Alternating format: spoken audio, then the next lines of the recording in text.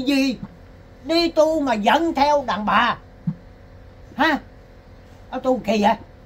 Đó đó như là những cái loại mà chúng ta ha, các thầy các loại này kia phải lên án và triệt phá cái loại ờ, ờ, thầy tu đó. Và những cái loại ni cô đó. Ni mà mặc y phán tạo ư.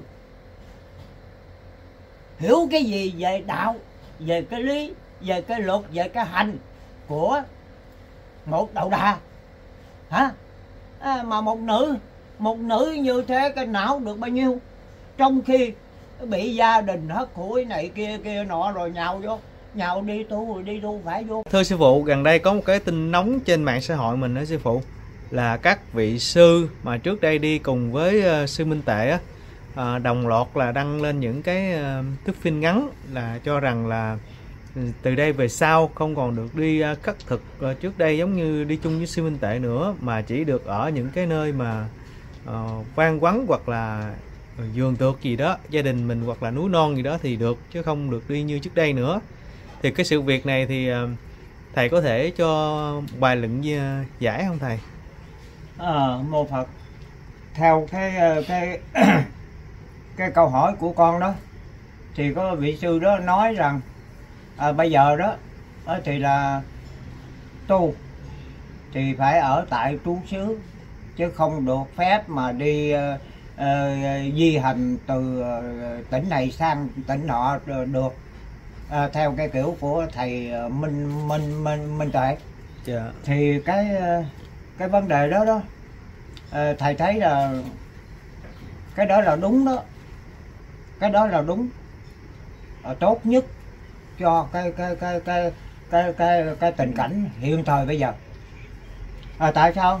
À, hiện thời bây giờ đó có rất nhiều người nam cũng có mà nữ cũng có nữa.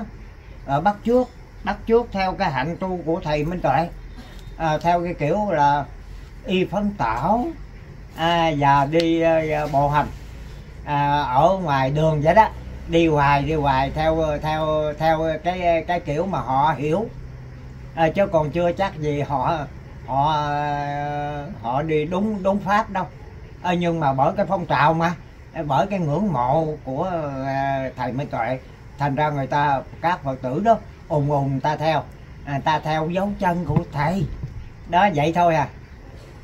Ờ, cái vấn đề mà nói về các thầy đó thì uh, theo cái cái cái cái lời nói vừa qua đó thì thầy thấy là nó thấy nó đúng hơn. Là tại vì nè chúng ta tu đó là phải phải có phải có người người ta nhìn thấy người ta công nhận nữa. Nha mặc dù các vị tu theo cái ý nghĩ của thầy Minh Tệ là nó là công dân Việt Nam bình thường đi tu vậy thôi muốn làm gì làm đó. Cái đó thì không có đúng đâu. Không có đúng. Cái đó đúng với một cái cá nhân nào đó thôi chứ không có thể nói mà tất cả các tu sĩ đều mà mà mà mà, mà như vậy được hết. Thì như thế ai muốn làm tu sĩ làm sao?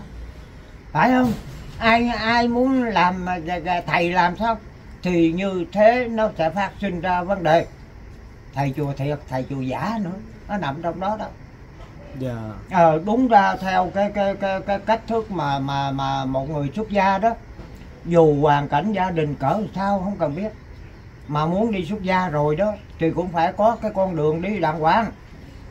Xin gia đình cho phép cha mẹ hoặc là vợ vợ chồng nào đồng ý. Đó rồi vô chùa mới tìm một sư phụ nào đó. Nha mình mình mình kính trọng. Đó để chi? Mình nương nhờ nương nhờ cửa phật mình là cái người bình thường không có biết gì chân á. Bây giờ bước vô cái cửa phật để tập. Đầu tiên là cái tánh hiền lành lợi.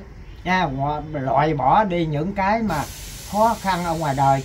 Đó rồi mới từ từ ngày này tháng kia năm nọ học câu kinh này cái bài kệ kia ờ, có đủ cái thời gian. Tức là ở trong chùa nó có cái giới hạn nó có cái cái cái thời gian. À, vô đó học 3 năm sau đó, thì thầy có thể cho thọ sa di để chúng ta bắt đầu bước vô đường tu thực sự. Đó khi mà chúng ta thọ sa di rồi đó tôi nói đây là tăng đó ha. Ba năm sau đó, thầy thấy đệ tử được đức hạnh tốt à, cái, cái cái cái cái hiểu đạo thì thầy cho phép à, thọ đại giới tức là thọ tỳ kheo. Thì cái lúc thọ tỳ kheo đó thì mới mới thực sự à, là một tu sĩ ở trong tăng đoàn à, chứ còn hồi sa di cũng chưa hình hồi sa di chúng ta chỉ mới tập tu thôi. Cái áo cái áo trơn. Đó còn à, khi mà chúng ta thọ đại giới đó thì cái áo chúng ta nó có thọc tức là phước đường y. Thế khi mà mà các thầy mà mặc được mặc được cái cái cái cái phước đường y đó thì mới được phép nhận cúng dường nó nằm chỗ đó nữa đó. Ha thành ra nó liên quan nhiều thứ lắm. Và khi mà uh, chúng chúng chúng ta đi tu đó đầu tiên à, đi vô đúng cái con đường đạo để chúng ta học đạo hiểu đạo. Rồi đến khi chúng ta thọ đại giới đó rồi đến khi đó thì có thể đủ kiến thức để mà chọn lựa pháp môn riêng cho mình. À, thí dụ như là khổ hạnh thí dụ sao đó à, tịnh độ hoặc là à, thiền tông hay gì đó thì đến khi đó chúng ta mới đủ mới đủ cái trình độ để mà chọn lựa. Chứ còn như là một thường nhân à, một thường nhân mà muốn muốn đi tu đó tự nhiên hôm nay là thường nhân ngày mai thành thầy thì cái đó thì không có không có chấp nhận được. Với lại cái loại thầy đó thì không có ai mà mà mà mà, mà chứng nhận. À, quý vị đi tu vô chùa chuyện đàng hoàng thì đó mỗi lần thọ giới à, mỗi lần mà mà mà chúng chúng ta thọ giới đó đều có chứng điệp. Chứng điệp của giáo hội cấp cho chúng ta. À, nói là à, cái ông đó ổng tu với cái giáo phẩm đó giáo phẩm đó giáo phẩm đó nó vậy đó. Đó, tức là được sự công nhận của giáo hội. Tại vì chúng ta trong đạo phật thành thứ ra phải có cái giáo hội của phật giáo. À, đó là cái đây, cái, đây, căn bản của cái đạo mình tức là người trong đạo người cao ở trong đạo công nhận mình à, là người của trong cái giới tu trong cái giới đạo. Đó à, phải được cái sự công nhận đó. Thì nhà nước mới công nhận. Có giáo hội công nhận thì nhà nước mới công nhận anh là tu sĩ. Nha còn nếu mà nói tu sĩ hỏi giấy tờ anh không có cái giấy tờ gì chứng minh anh là tu sĩ chân á vậy là các... nhà nước nào công nhận anh là tu sĩ. Vậy là các vị sư mà đi chung với sư minh tệ đó mà được uh, lên tiếng là dừng lại không được đi như vậy nên là có một thế lực tác động phải không thầy? Cái vấn đề không được phép đi đó hả? Dạ. cái đó là đúng con à tại vì sao? Đi như thế cái pháp đi đó đi sao? Đi sao? Các thầy đi sao hồi xưa thầy minh tuệ, ta đi con mình đó. Rồi các thầy đi sao? Năm người, bảy người vô chung. Cặp bè cặp bạn lại ban đầu một người, sau năm người, bảy người gom chung. Rồi đi như vậy. Thì cái vấn vấn đề mà mà mà mà đi hành pháp đó, suốt tỉnh này sang tỉnh nọ tỉnh nọ sang tỉnh kia đó, thì ai ai kiểm soát được các thầy? Đó, rồi các thầy như thế đã có giấy tờ chứng nhận thầy là tu sĩ chưa? Nó nằm chỗ đó đó, chứ không phải mà ai muốn đi đi muốn làm gì làm. Nếu mà nói ai muốn đi làm gì làm thì thực ra cái đất nước nó loạn nè, nó không còn luật pháp nữa. Thì cái chừng đó làm sao nói tu sĩ thiệt, tu tu sĩ giả phải không? Đó, nó nằm ở chỗ đó đó. Thành thử ra khi mà chúng ta tu đó, làm gì làm? Cũng phải bước vô cái con đường rõ ràng. Đó chúng ta tu ở cái đạo đó thì có cái cái cái cái cái cái cái cái, cái cấp cao của đạo đó. Chứng nhận anh là tu sĩ trong đạo đó. Thí dụ như bên thiên chúa cũng vậy ha. À, bà con bên thiên chúa cũng vậy người ta cũng có những cái cấp người ta à, đây là cái cái giáo dân ta. Thí dụ vậy đó. À, chức vụ gì ở trong chùa trong trong nhà thờ. À, thì còn bên đây ở bên đây cái tăng sĩ nó nhiều còn ở bên phía bên kia thì các cái, phần đó ít hơn ha thành ra người ta cũng dễ hơn. Còn phía bên đây tăng sĩ nhiều quá. À, mà muốn muốn làm thầy cái bữa trước bữa sau làm thầy rồi. Đó thì các phật tử giờ thấy rất rõ ràng đó. Yeah. Dạ. cái hình thức tu mà bắt chước theo thầy minh tuệ à, đại đa số đều là gần như là bất hợp pháp hết trơn. Không Với- có, có cái vấn đề nào hợp pháp hết dưới mà tại vì tự nhiên mà nhảy qua nhảy qua rồi quấn yêu quấn áo rồi nói mình là tu sĩ. Trong khi đó giấy tờ không có. Ờ, tu sĩ cái gì? Với con thấy cái tình hình này nếu mà nó như thế kéo dài và nhiều người làm như vậy á thì nó cũng ảnh hưởng đến tăng đoàn và giáo hội nhiều lắm á thì đương nhiên rồi con đương nhiên rồi ảnh hưởng vô cùng. Tại sao? Những cái ông tu sĩ giả làm mất uy tín ha làm mất cái cái cái cái thể diện cái cái cái cái cái chính đáng của các các tu tu tu sĩ thiệt tại sao? Mấy ông này có giấy tờ đâu phải không? Muốn nói tu sĩ cũng được mà không cũng được phải không? Thấy mặc quần mặc áo kêu thầy xưng tụng. Nhưng mà hỏi tới giấy tờ hoàn toàn không có. Thì như như thế không có được. Cái con người ta phải căn bản ờ, anh đúng hay sai cái thiệt hay giả là nằm ở trên. Có người chứng nhận anh hay không? Dạ. chứ không có nói mà theo kiểu là tôi muốn làm gì làm. Cái đó không có được. Không có được. Nói theo cái lý luận thầy minh tuệ thì được. Tại sao ổng có cái căn bản tu à. à rồi ổng hiểu về cái lý đạo rồi. Và lúc đó ổng đi có một mình một à. Ổng đi bằng cái tư tưởng đó. Êm re không ai nói tới chứ ha. Nhưng à, sau này ông được nổi tiếng lên. Rồi ùn ùn bà con rần rần bắt chước theo. Bắt chước theo để làm chi? À, để ờ, ông thầy mình vậy mình vậy đó. Thì ai cũng tôn trọng mình theo giống như ông thầy mình. Đó là những người thực sự ra đi tu bằng cái danh lợi à. Chứ còn không phải thực sự cái tâm muốn tu. Cái tâm muốn tu đó phải vô đúng đường đúng hướng. Chứ không phải mà nhào ngang nhào ngửa như vậy. Ha, nhảy ngang nhảy ngửa vậy dễ quá vậy. Làm thầy làm bà có bộ dễ quá vậy ha. Thì rất nhiều người nhảy vô. À, thất nghiệp buồn chán không có công an việc làm. À đây dễ ợt. Cạo cái đầu cái quấn đầu ăn đạt cái ôm đầu cầm điện cái thành ông sư ông thầy rồi nó không có được phải không? Dạ. đó là nằm cái chỗ đó đó. Bởi vậy các thầy có thể tu.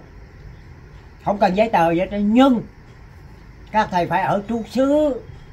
Để làm chi? Chính quyền địa phương người ta biết rõ các thầy và người ta kiểm soát các thầy. À, chứ không phải mà buông không. À, còn hay vậy đó chứ người ta cũng dòm ngó chứ à, để làm chi? Người ta hiểu người ta mới nắm rõ được ở trong địa phương người ta các thầy tu sao cách sao đó theo thời gian. Bà con chòm sớm và chính quyền địa phương người ta công nhận thầy tu hay tu dở tu đúng tu sai. Cái đó thầy khỏi cần vô chùa thầy tự tu cái nằm chỗ đó đó. Nhưng thầy phải nằm dưới sự quản lý của địa phương thầy. Dạ. chứ không phải mà thầy muốn đi đâu đi thầy không phải muốn làm gì làm. Đó coi vậy đó. À, thầy ở nghĩa địa đi thầy ở cái am cốc riêng đi nhưng mà thực tế ra đó xung quanh cũng có người theo dõi để ý thầy à. thầy đúng thầy sai thầy chặt thầy trúng gì người ta đều biết hết trơn à à cái đó rồi mày nói lên vấn đề tu hay không Thế còn bây giờ nếu mà cho các ông cứ cặp bè cặp bạn cặp năm cặp bảy đó thí dụ đó có một trường hợp đó một ông thầy đó dẫn theo hai ba cô cô đó dạ. đó thì như thế thì xã hội nào chấp nhận được và cái cái cái cái cái cái cái cái cái cái cái cái cái, cái là đạo nào chấp nhận được cái chuyện đó? Tu không có căn cơ gốc ngọn giấy tờ thì không có muốn đi đâu đi muốn làm gì làm đâu có được phải không? Dạ. ừ không có được. Bây giờ đừng nói thầy thầy tu một người bình thường thôi mà từ địa phương này tới địa phương khác họ không trình báo nó bắt á. Phải không? Cho còn các các thầy mà đi vậy muốn đi đâu đi muốn làm gì làm mà ăn ở những cái chỗ khuất không à thì những cái hành động xấu xa đó ai mà kiểm soát cả thầy được phải không? Thành ra dứt khoát nhà nước không có cho không có cho mà mà mà mà tu theo cái kiểu mà đi kiểu đó đâu. Hồi trước thầy minh tuệ thì khác. Tại vì thầy đi một mình không có rớ động ai đó không làm phiền ai chứ. Thầy đi suốt mấy năm trời mà có ai nói tới đâu ha? Thấy đó rồi, rồi bỏ qua thấy bỏ qua thôi. Nhưng sau này cái lúc mà thầy nổi tiếng dữ dội đó thì cái lúc đó thầy bị phiền phức liền thấy không? Dạ. thầy không còn tự do nữa thầy bị này kia kia nọ. Bởi ai? Bởi những người đi theo thầy. Một số mà nhảy ngang nhảy ngửa theo đó đòi làm tu sĩ cái nhóm đó. Rồi một số bà con phật tử ngưỡng mộ thương thầy quá ồn ồn rồi theo đó, đó. Hai cái nhóm người đó hại thầy. Dạ. đó mà không có cái cái cái cái cái phật tử thì chúng ta không nói làm gì bởi cái lòng ngưỡng mộ, cái lòng khâm phục của con người ta nó kỳ cục lắm. Khi mà tôn cái người đó là thần tượng rồi đó, thì sống chết gì cũng là thần tượng của mình. Thầy nói đây đó là nói những cái người ăn có ăn té, tức là nhảy theo thầy. Nhảy theo thầy, đi theo thầy đó. Nó để là giống thầy đó. Đó, cái đó là những người đang trách nhất. Tại sao? Họ chưa có học đạo ngày nào chứ à, trên các cái clip cũ đó các con móc cái coi mới bữa trước cạo đầu đó. Bữa sau ngồi chắp tay nhận lễ lại của người ta rồi thành phật liền rồi. Đó thành thử ra trời ơi tu dễ quá. Tu mới bữa trước bữa sau thành thầy rồi người ta xá lại rồi ung ung nhảy vô chạy theo. Dạ. Đó với rồi phong trào y phân tảo của thầy minh tuệ đang nổi.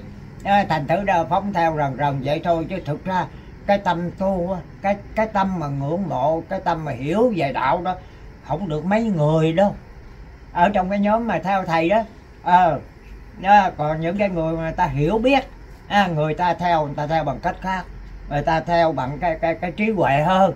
Chứ không có phải mà ùng ùng mà mặc đồ mặc đạt mà nhảy theo mà đi theo thầy như vậy. Dạ. À, không có được. Gây thêm cái rối loạn trật tự xã hội.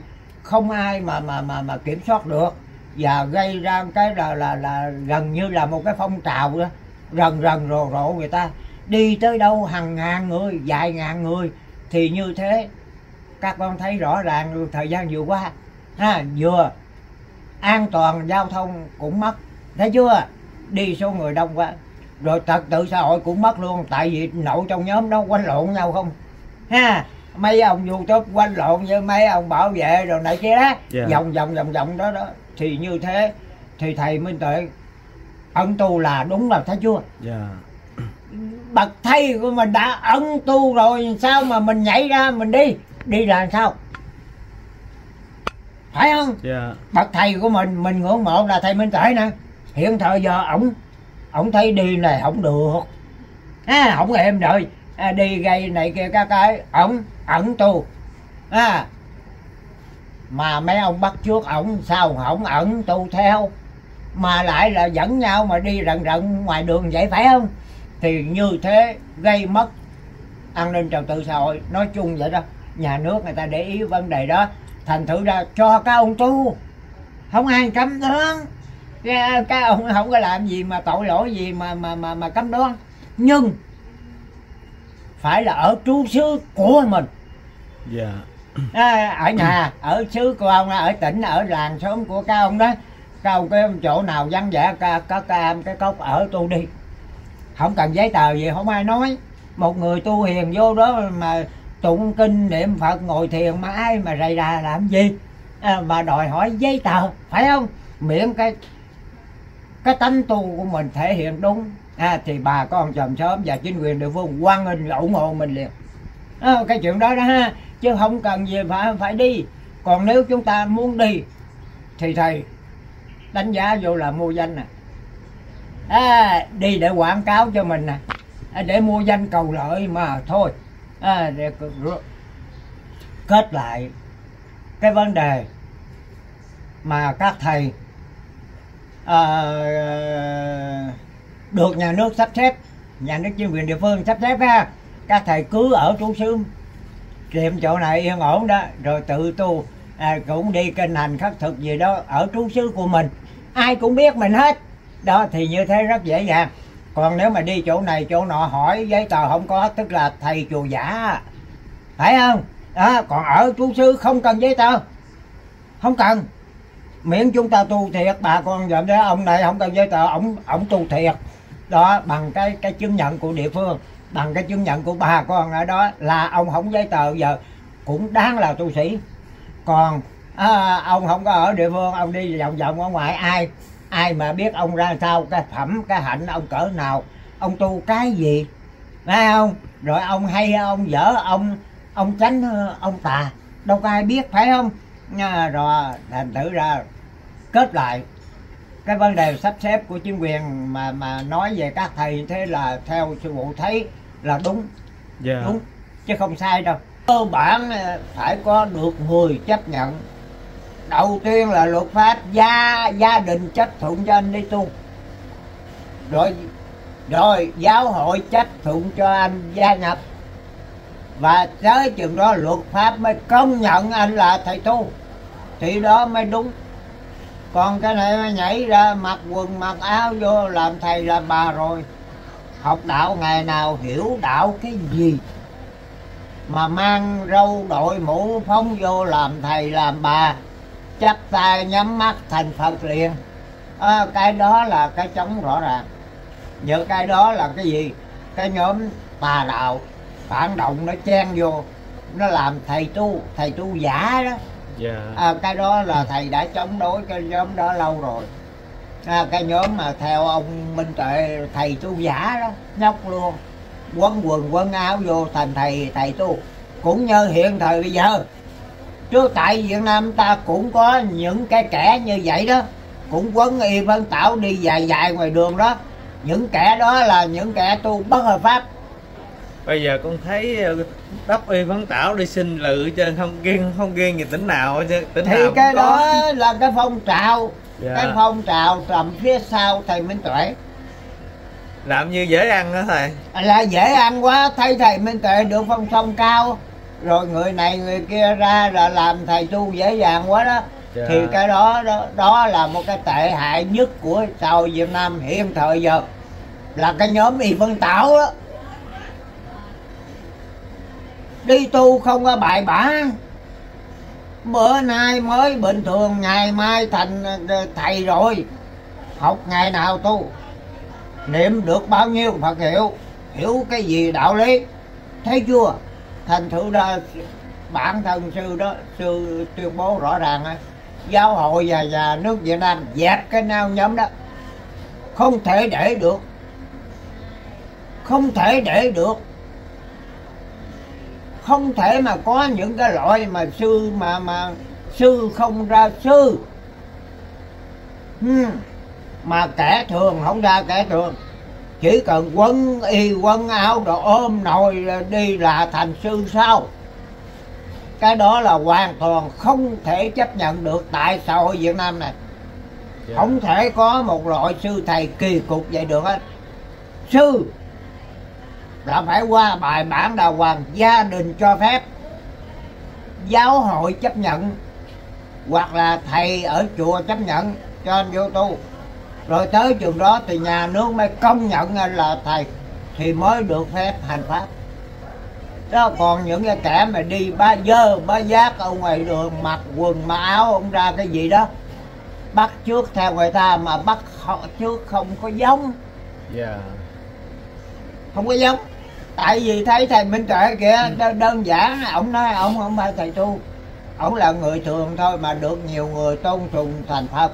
Thì những cái kẻ này nó theo cái gốc đó đó nó nó nó cũng phải thầy tu. Nó là cái người bình thường nó cũng theo cái ý của mình tệ à. nó muốn tu nó tu và không ai cấm được nó cái đó không được. Cái đó không được. Cái luật pháp việt nam không cho phép điều đó giống như là sư minh tệ là có một cái sứ mệnh đặc biệt ông sư minh tuệ đặc biệt một người. Dạ. À, còn cái này cái loại tu này không có chòm nhóm chòm nhóm. Thí dụ à, thầy nói điển hình này hiện tại tại việt nam này có một cái ông sư nào đó Dạ. ông đang đi theo kiểu minh tuệ đó mà ông dẫn theo hai ba con mẹ đàn bà đó. Dạ gần đây đó thầy có một sư nữ đi, đi chung với ờ, sư ờ, gì? Thì đó sĩ sư lên án cái ông thầy đó đó. Dạ.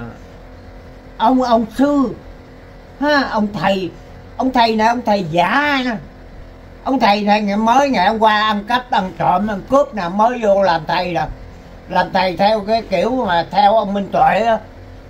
Bữa trước đầu trâu mặt ngựa bữa sau quấn y quấn áo thành tạp phật á là cái loại ông thầy này nè. Ông thầy gì mà đi tu rượu dội gì? Đi tu mà dẫn theo đàn bà. Ha? Ông tu kỳ vậy, đó đó như là những cái loại mà chúng ta ha, các thầy các đồ này kia phải lên án và triệt phá cái loại ờ, ờ, thầy tu đó. Và những cái loại ni cô đó ni mà mặc y phán tạo ư. Hiểu cái gì về đạo về cái lý về cái luật về cái hành của một đầu đà? Hả? À, mà một nữ một nữ như thế cái não được bao nhiêu? Trong khi bị gia đình hất hủi này kia kia nọ rồi nhào vô nhào đi tu rồi đi tu phải vô căn bản xin phép gia đình được cái giấy gia đình chấp thuận đi, rồi kiếm cô nào, thầy nào trong chùa. Rồi vô sinh đó, vô đó mới ăn, mới học, trong đó dạy ba năm. Rồi mới được là là là thọ thế di, này kia các cái. Thì đó mới đi đúng cái đường tu. Còn này khơi khơi, không biết gì hết trơn thấy người đàn ông người ta này kia rần rần nổi tiếng đàn bà kêu, kêu, kêu bỏ chồng bỏ con này kia các cái ở nhà ai nuôi nuôi quần quần quần áo đi theo ông thầy chùa. Cô tu vậy hả? Tu kiểu đó đó hả? Có một vị sư huynh có một vị đồng môn với sư này lên tiếng nói ờ thôi thầy ơi thầy ờ, cũng đừng nói gì tới cô đó. Để cổ tu đi. Chứ cổ về này kia thầy nói thì đúng. Nếu cổ tu đúng thì sư đâu có nói. Còn cái này cái cách tu của cổ thầy thấy đúng hay sai? Yeah. hồi xưa thầy đi tu sao? Cũng thầy cũng phải vô bài bản hay không? Còn cái con bé này đi tu ra sao? Thầy thấy nó khác mình rõ ràng ha đó thì như thế cái này là phải chống đối là phải mà mà mà mà mà, mà đưa đưa ra trước công luận để mà mà mà nhìn thấy rõ ràng rằng bà hay tránh là chỗ đó đó. Dạ. Tôi nói cho quý vị biết ha ở trong đạo đó cái giới dâm là cái giới khó khăn nhất của các thầy mà cái này mỗi ông thầy chùa đi hai ba con mẹ đàn bà đi theo. Như thế là cái gì? Cái loại nào? Tu gì kỳ vậy? Ha nếu mà đi như vậy mình mình giữ giới trong sạch người đời người ta cũng nói không không, không, không, không, không đừng có nói chuyện đó. Những cái kẻ đó đã hành sai rồi đừng có mà lý luận. À, tối tôi ngủ xa ngủ gần. Ông ngủ ai biết ông nhưng mà nội cái cái là ông ông tu cái hạnh đó mà hai người là trật rồi. Còn cái này ông dẫn theo hai ba con mẹ đàn bà theo ông rõ ràng á. Bữa trước có người, nghe nói người nào đó theo con nó nữa, hai con đàn bà theo ông thầy. Tu ha, tu cái gì hả? Tu sao không ở chùa tu? Tu mà dẫn đàn bà đi ngoài đường vậy ha đi dài dài, đi xin ăn rồi tối kiếm cái chỗ nào vắng vẻ nhất thí dụ nghĩa địa vô ngủ thế trời, trời ơi cái kiểu tu gì kỳ vậy? Hả? Tu gì vậy mà tu? Đó là làm rối đạo rối đời mà thôi. Những kẻ đó không phải là những thầy thầy tu mà là những kẻ dựa vào thời cuộc dựa vào thời thế để mong rằng mình được một cái tiếng tâm nào đó. Thí dụ giống như thầy minh tệ hoặc minh đạo mà thôi. Thì đó là những cái kẻ hoàn toàn phá đạo. Thầy nói điển hình lên tại đây thầy biết là mỗi ông thầy chùa dẫn hai ba con mẹ đàn bà đi theo đó. Đó là cái loại gì? Hả? Tu cái gì vậy? Khổ hạnh vậy hay sao hồi xưa nay có đàn bà đi đàn ông hoàn toàn không có mà bây giờ có. Mà lại được một số người lại quan nghênh nữa chứ. Cái đó mới là điều lạ. Ờ à, mô phật sư nói đến đây à, vừa rồi ha các con à, bà con suy luận và tự hiểu ha mô phật.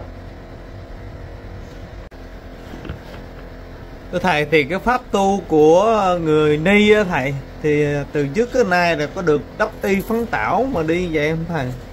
Cái gì? Cái cái giới ni á có được à. đắp y phấn tảo mà đi ờ, như mấy sư, sư cô đi chung với ông thầy đó không thầy?